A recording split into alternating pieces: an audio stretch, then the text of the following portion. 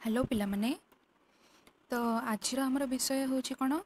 ଏଠି ଲେଖା ହେଇଛି ବିଲାତି ବାଇଗଣ ରୋଗ ଓ ପୋକର ପରିଚାଳନା।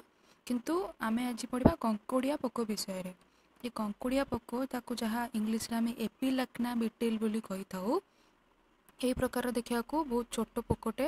ଏ କଙ୍କୁଡ଼ିଆ ପୋକ ବିଲାତି ବାଇଗଣ ମାନେ ଟମାଟୋର ଟମାଟୋରେ ମଧ୍ୟ ହୁଏ ଓ ଆଳୁରେ ମଧ୍ୟ ହୁଏ। ଟମାଟୋ ଓ ଆ, ବିଲାତି ବାଇଗଣ ମାନେ ଟମାଟୋରେ ଏଇ ଦୁଇଟା ଫସଲରେ ଏ ଏପିଲାକ୍ନା ବିଟିଲ୍ କଙ୍କୁଡ଼ିଆ ପୋକ ହୋଇଥାଏ। ତ କ'ଣ କହୁଛି? ଏହି ପୋକ ଆ, ଉଭୟ ଆ, ଏହି ପୋକର ଉଭୟ ପୂର୍ଣ୍ଣାଙ୍ଗ ଅବସ୍ଥା ଓ ଭୃଙ୍ଗ ଅବସ୍ଥା କ୍ଷତିକାରକ ଅଟେ। ପୋକମାନଙ୍କର ବହୁତ ପ୍ରକାର ଅବସ୍ଥା ଥାଏ ଚାରି ଆ, ତିନି ଚାରି ପ୍ରକାରର ଅବସ୍ଥା ଥାଏ ଯେମିତିକି ଅଣ୍ଡା ହେଲା ତାପରେ ଭୃଙ୍ଗ ଅବସ୍ଥା ହେଲା ତାପରେ ହେଲା ପୂର୍ଣ୍ଣାଙ୍ଗ ଅବସ୍ଥା ହେଲା ଏମିତି ସବୁ ଅଲଗା ଅଲଗା ଅବସ୍ଥା ଅଛି। ସେଇଟା ମୁଁ ତୁମକୁ ଚିତ୍ର ସାହାଯ୍ୟରେ ତୁମକୁ ବୁଝାଇ ଦେବି। ତା'ର ଯେଉଁ ଚାରି ପ୍ରକାରର ଅବସ୍ଥା ଭିତରୁ ଯେଉଁ ପୂର୍ଣ୍ଣାଙ୍ଗ ଅବସ୍ଥା ଓ ଭୃଙ୍ଗ ଅବସ୍ଥାଟା କ୍ଷତିକାରକ ଅଟେ ଆମ ଫସଲ ପାଇଁ।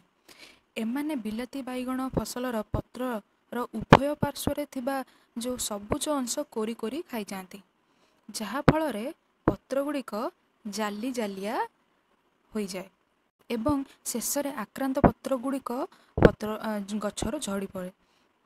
ତ ଆମେ କ'ଣ ବୁଝିଲେ ନା ଯେଉଁ ଆ, ଯେଉଁ ସବୁଜ ଅଂଶ ଅଛି ସବୁଜ ଅଂଶ ପତ୍ରର କ'ଣ ପାଇଁ ଥାଏ? କ୍ଲୋରୋଫିଲ୍ ଅଂଶ ସେଥିରେ ଥାଏ ସେଇଥିପାଇଁ ସବୁଜ ଦେଖାଯାଏ ପତ୍ରଟା। ସେଇ କ୍ଲୋରୋଫିଲ୍ ଅଂଶ ସବୁଜ ଅଂଶକୁ ଏମାନେ କୋରି କୋରିକିନା ଖାଇଯାଆନ୍ତି। ଫଳରେ କ'ଣ ହେବ?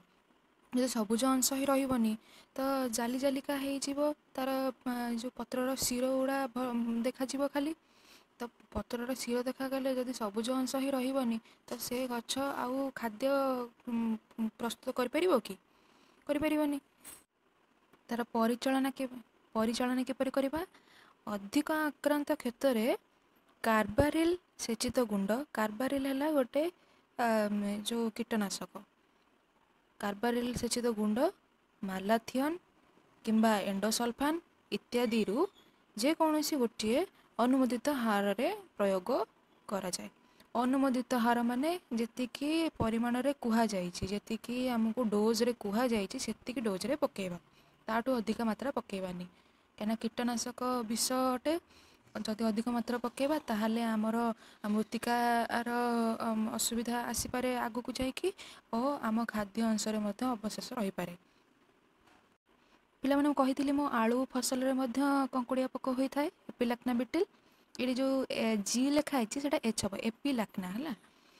ସୂକ୍ଷ୍ମ ଅବସ୍ଥାରେ ଓ ପରିଣତ ଅବସ୍ଥାରେ ପତ୍ରର ସବୁଜ ଅଂଶ ଖାଇଯାଆନ୍ତି। ସେମ୍ ଜିନିଷ ଯେ ଯେଉଁ ଟମାଟୋ ଗଛରେ ଯାହା କରନ୍ତି ସବୁଜ ଅଂଶ ଖାଇଯାଆନ୍ତି। ଏଠି ଆଳୁ ଚାଷରେ ମଧ୍ୟ ସେଇ ସବୁଜ ଅଂଶ ତାଙ୍କ ପତ୍ରର ସବୁଜ ଅଂଶ ଖାଇଯାଆନ୍ତି। ଏହାଦ୍ୱାରା ଅମଳ କମିଯାଏ। ପ୍ରତିକାର ଏଠି ଲେଖା ହୋଇନି କିନ୍ତୁ ସମାନ। ଆମେ କାର୍ବାରିଲ୍ କିମ୍ବା ଏଣ୍ଡୋସଲଫାନ୍ କିମ୍ବା ମାଲାଥିଅନ୍ ଆମେ ପ୍ରତିକାର ଏଇ ଯେଉଁ କୀଟନାଶକ ପକାଇବା। ପିଲାମାନେ ଦେଖ ଏଇଟା ହେଉଛି ଏପିଲାକ୍ନା ବିଟିଲ୍ କଙ୍କୁଡ଼ିଆ ପୋକ। ପତ୍ରରେ ଲାଗିକି କିପରି ସବୁଜ ଅଂଶ ଖାଇ ଖାଇକିନା କୋରି କୋରି ଖାଇ ଖାଇକିନା ଜାଲିକା ଅବସ୍ଥା କରିଦେଇଛି। ଏଇଟା ହେଉଛି କଙ୍କୁଡ଼ିଆ ପୋକର ପୂର୍ଣ୍ଣାଙ୍ଗ ଅବସ୍ଥା ମାନେ ପରିଣତ ଅବସ୍ଥା। ଓ ତା'ର ଦେହରେ ଆଉ ଦେହ ଉପରେ ଏମିତି କଳା କଳା ଟୋପା ହୋଇକି ଥାଏ। ଚିହ୍ନ ଥାଏ କଳା ଟୋପା ଚିହ୍ନ ଥାଏ।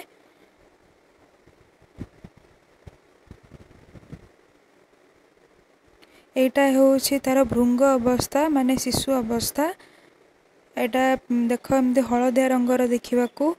ତା ଉପରେ ଏମିତି କଣ୍ଟା କଣ୍ଟା ପରି ଦେଖିବାକୁ ଦୁଇଟି ଯାକ ଅବସ୍ଥା ଫସଲ ପାଇଁ କ୍ଷତିକାରକ। ଦୁଇଟି ଯାକ ଅବସ୍ଥା ଏହିପରି କୋରି କୋରିକିନା ପତ୍ରକୁ ଖାଇଥାନ୍ତି। କଙ୍କୁଡ଼ିଆ ପୋକର ଜୀବନ ଚକ୍ର ଦେଢ଼ ମାସରୁ ଦୁଇ ମାସ। ଗୋଟେ ପୂର୍ଣ୍ଣାଙ୍ଗ ଅବସ୍ଥା ଏକରୁ ଚାରିଶହ ଅଣ୍ଡା ଦେଇଥାଏ। ଏହି ଅଣ୍ଡା ବହୁତ କ୍ଷୁଦ୍ର ଓ ହଳଦିଆ ରଙ୍ଗର ଦେଖିବାକୁ ଏହି ଅଣ୍ଡା ଭିତରୁ ଅଣ୍ଡା ଫାଟି ସାରିଲା ପରେ ଶିଶୁ ଅବସ୍ଥା ବାହାରେ ପୋକର। ଶିଶୁ ଅବସ୍ଥା ଏହିପରି ଦେଖିବାକୁ ଯାହାକୁ ଭୃଙ୍ଗ କୁହାଯାଏ। ଭୃଙ୍ଗ ଅବସ୍ଥା ବଡ଼ ହୋଇସାରିଲା ପରେ ତା'ର ସାଇଜ୍ ବଢ଼ିଥାଏ ଦେହର ସାଇଜ୍ ବଢ଼ିଥାଏ।